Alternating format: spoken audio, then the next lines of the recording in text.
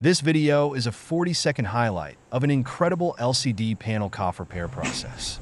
If you'd like to see the full video, please type a yes in the comments.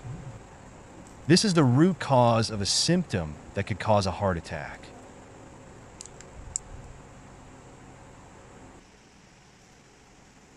Whole screen white picture, a half screen V-bar.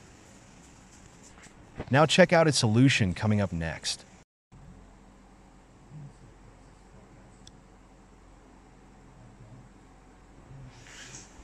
Don't forget to subscribe and leave a comment on what you'd like to see in the full repair.